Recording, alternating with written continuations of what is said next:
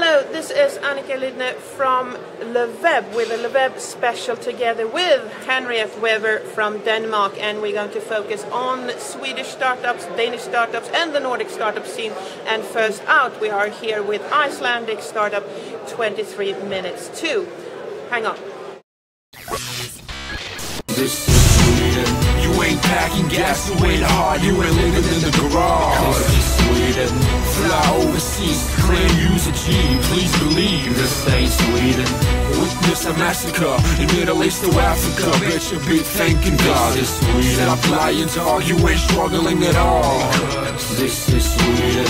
You ain't packing gas, you ain't hard, you ain't living in the garage. This is Sweden. Fly overseas, claim use a G. Please believe this ain't Sweden. Witness a massacre in Middle East to Africa. Bet you be thanking God. This hey, yo. This is the Swedish Startup Sessions. Hi, welcome back to the Swedish Startup Sessions, and we are here with 23 Minutes to, uh, which is actually the only Nordic startup in the startup competition at Le Web. And last year, Loïc just uh, announced this on stage that the winner, uh, there was actually three winners uh, of the last year's startup competition, but one of them got $55 million in funding. I guess it was Wise. It was Wise Yes, who yeah. yeah. It was- and they were pretty far, far ahead when, when they came up here. But what is 23 minutes to? Short pitch. So, maybe you want to talk about that? yeah, 22 minutes is a new way that uh, groups can uh, get together in a really short time to do something fun uh, the same day or tonight or a really short, uh, short notice. Uh, it's a mobile app where you can just type your idea, invite your friends, and your friends get a message, with a timer on it, and have to reply preferably between 23 minutes. And um, I saw the presentation, and I can see. see first, I, when I saw your, your your movie, I thought, hmm, this is like isn't there a lot of it? But then when I saw your pitch, I really got it. And we're coming back to that. But what's your background, your name and, and background? So I'm Gauti Reynisson, I'm from Iceland and um, I've been in IT since graduating from the Högskolan in Skövde in Sweden. Oh, Sweden. you're Yeah. really background. Exactly. And um, uh, a couple of years ago, I went for my MBA uh, at MIT in Boston, and where I got really uh, infected by the entrepreneurial uh, virus, and I've been studying companies since uh, since leaving school. So this Yeah. is my second startup. and you have a medical startup. Yeah, we have a medical device startup as well, which is yeah.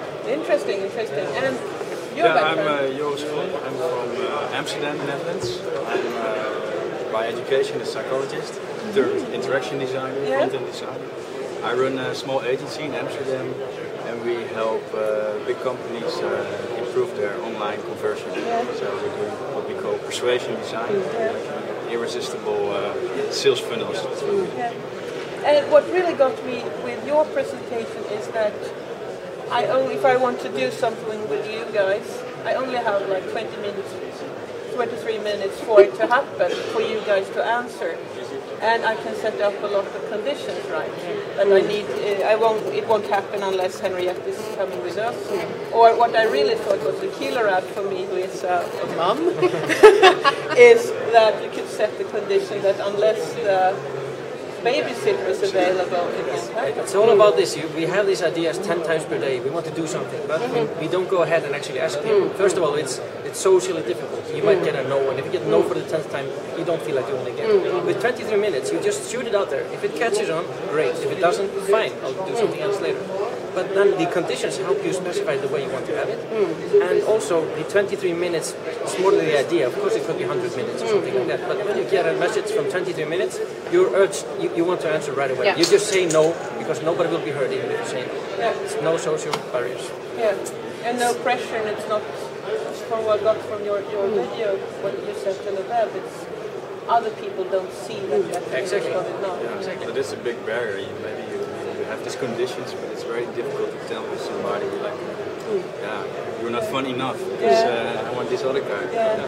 So and this is all hidden. And I think if you start using it, you will feel and understand the, the power of it more. So what we really want to be is like the starting point for every group that wants to do something And unexpected ha- have you uh, used your background in psychology a lot when, when building the whole behavior model? Yeah, we, we, we did we did research for this to Yeah.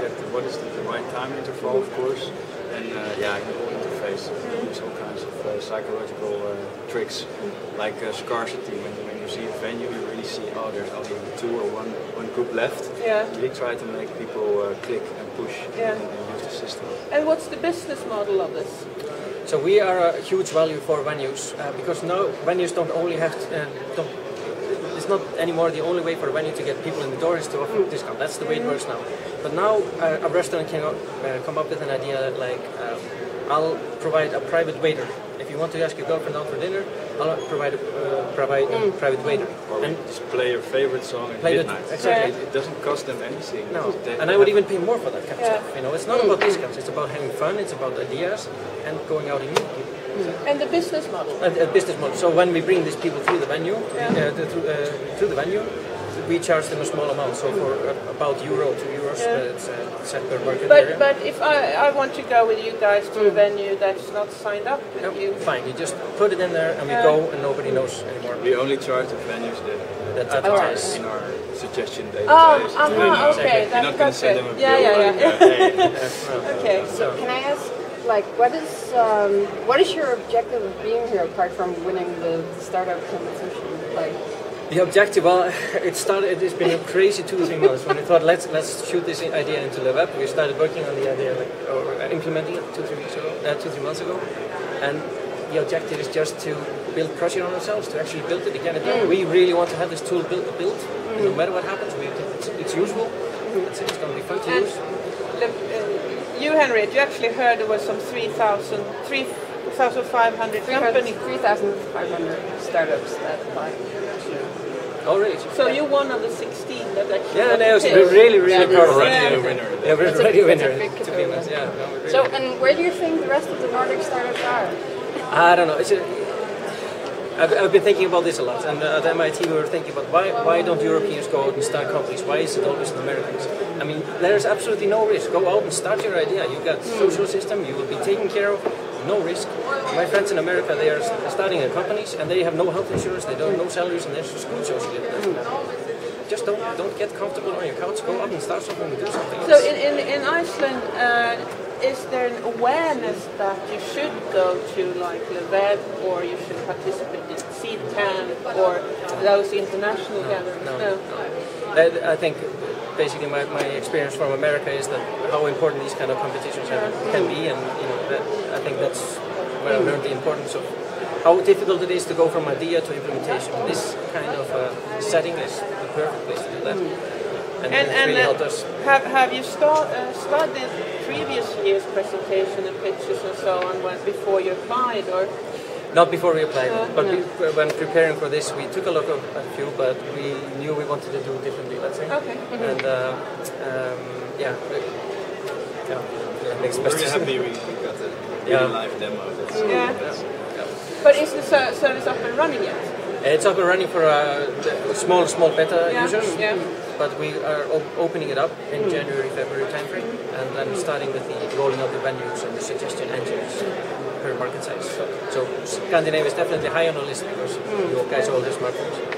And you speak Swedish. I speak Swedish. Used to. So, Can I just one last thing? Yes. So, if you were going to give some advice to the Scandinavian or Swedish or Yeah. Danish startups on doing pitches, like what is the things that you thought worked really well in there? Because you just came out of there like five minutes ago. Yeah. Uh, I think you, any idea that you get is it always misses a business model. I mean, no matter you mm. get all these cool ideas, but turning it into how we're going to make money mm. is really difficult, and that's what we have the most challenge with today uh, to convince them, like how where's the money, what's the mm. market size, and mm-hmm. of course we can create create Excel sheets that make us millionaires in a couple of months, but mm-hmm. that's not what it's about.